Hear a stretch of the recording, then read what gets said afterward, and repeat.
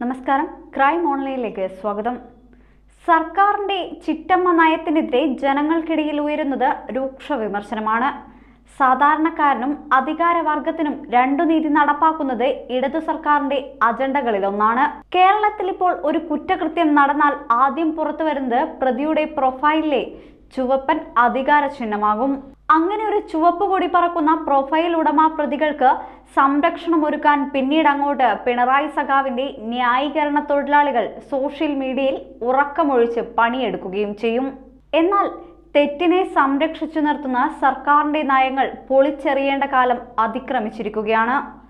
പണ്ട് സരിത എന്നൊരു തട്ടിപ്പുകാരിയുടെ മൊഴി അടിസ്ഥാനമാക്കി മുൻ മുഖ്യമന്ത്രി ഉമ്മൻചാണ്ടിക്കെതിരെ കേസെടുത്തയാളാണ് പിണറായി വിജയൻ.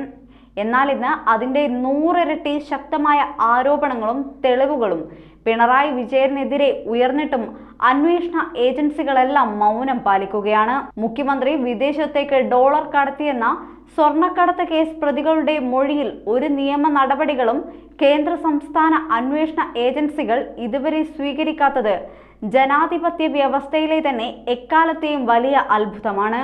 വിഷയത്തിൽ പിണറായി വിജയൻ ഇപ്പോഴും മൗനം വെടിയാൻ തയ്യാറായിട്ടില്ല. ഒരു തട്ടിപ്പ് കേസിലെ പ്രതിയുടെ മൊഴി അടിസ്ഥാനമാക്കി മുൻ മുഖ്യമന്ത്രി ഉമ്മൻചാണ്ടിക്കെതിരെ കേസെടുത്ത പിണറായി വിജയൻ ഇന്ന് ഒട്ടേറെ പേരുടെ മൊഴികൾ എതിരെ വന്നിട്ടും സസുഖം ഭരണം തുടരുന്നു. ഇതിനെ ഇരട്ടച്ചങ്ക് എന്ന് വിളിക്കുന്നവരാണ് യഥാർത്ഥത്തിൽ പരട്ടച്ചങ്കന്മാർ എന്നാണ് എന്റെ അഭിപ്രായം. ഉമ്മൻചാണ്ടിക്ക് ലഭിക്കാത്ത നീതി പിണറായിക്ക് ലഭിക്കുന്നതിന്റെ അടിസ്ഥാനം എന്താണ്?